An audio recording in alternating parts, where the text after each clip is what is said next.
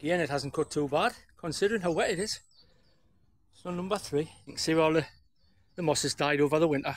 Because it got um, a good autumn feed after its last cut last season in um, in some main sulphate, so that's ready to scarify out now. It needs it, it's quite spongy. But it's lovely and green here, look, with um, with autumn feed.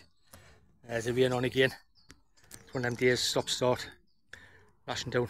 Um, been on all the borders with a three prong cultivator, I just freshen the ball up just to loosen them up really, let the drainage in the air because they were compact and soaking. That one over there is drenched, I've just had to do what I can just along here and then it'll get manicured on the next fortnightly visit if it dries up after Easter.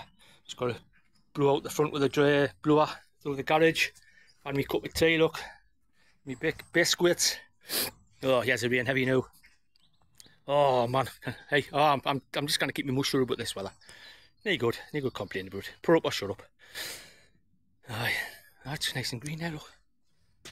Lovely.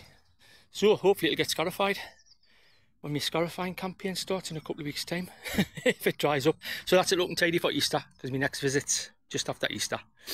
We'll get all manicured up, and by then, hopefully, the Virginia creeper will be starting to bud up on the fence and clothe, clothe the bare fence. Right, Dwayne Heavy, catch you later. Bye for now.